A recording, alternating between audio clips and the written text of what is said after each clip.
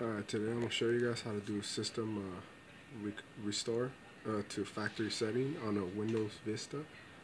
I'm asking you guys to uh, have an external hard drive on hand if you want to save your files and you don't want nothing to get erased. You're going to want to save it all into the external hard drive or like me, get an iPod, save it in there. You could use it as an external hard drive, save everything in there since I've already done my system recovery on mine, I'm just going to show you guys what you guys have to do in the beginning and the rest you guys can literally do it yourself. Um, saves you money. You don't have to go take it to to somebody that's going to do basically the same thing and charge you for it.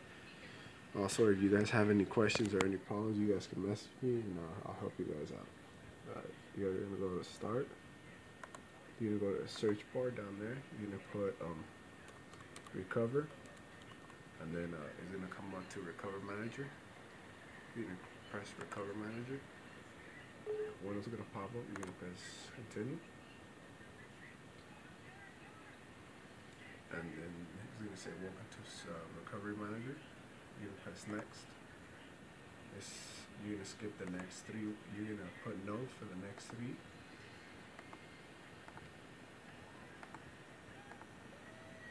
And then right here is the one that you guys want to see.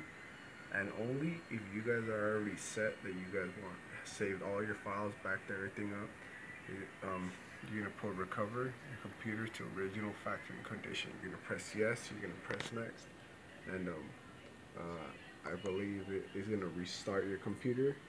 It's gonna start back up and the same screen is gonna pop up. You're gonna press no for the for the same three questions and then you're gonna put yes for system recover and you're gonna put uh, recover without saving any of your files.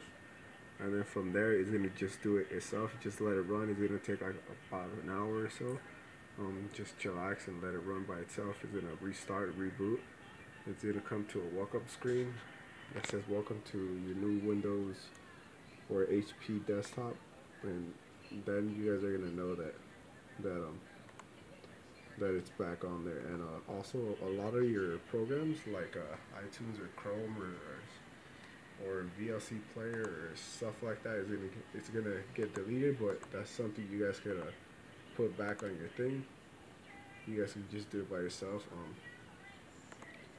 and uh, thank you for watching my video. If you guys have any questions um, uh, message me and um, uh, subscribe and I'll help you guys out. Um, also, um, my next video is going to be about um, hacking um, internet off your phone, any kind of phone, even if it's uh, like a Metro PCS phone or something like that.